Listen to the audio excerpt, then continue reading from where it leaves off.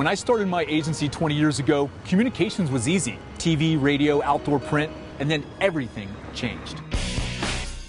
Advertising, marketing, design, public relations, everything changed because of the biggest impact in communications since Gutenberg's press the internet.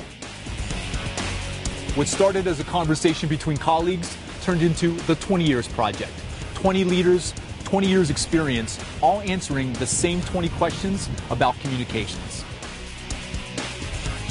Inside each chapter, you'll find an introduction, excerpts from contributor interviews, discussion questions for your reflection, and QR codes to more than two and a half hours of video. The biggest challenge, search engine marketing. I think saturation. A consistency of workflow. The biggest advancement. The opportunity experiences. That's where design is going. Content creation. Clean vision, one to one. That speaks to the target.